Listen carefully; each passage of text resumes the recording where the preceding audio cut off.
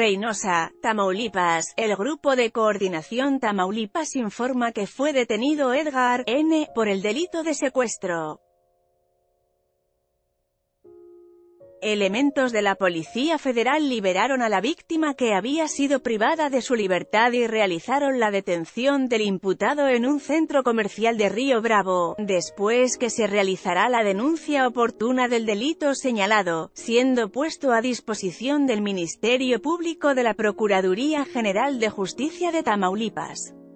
Lee también, cae exagente de la AFI por secuestro express en breve, un juez de control dictaminará medidas cautelares a que hayan lugar y resolverá la vinculación a proceso de Edgar N., el gobierno de Tamaulipas, a través de la Procuraduría General de Justicia del Estado, refrenda su compromiso de utilizar todos los medios jurídicos a su alcance para perseguir y castigar a quienes atenten contra la libertad de los tamaulipecos.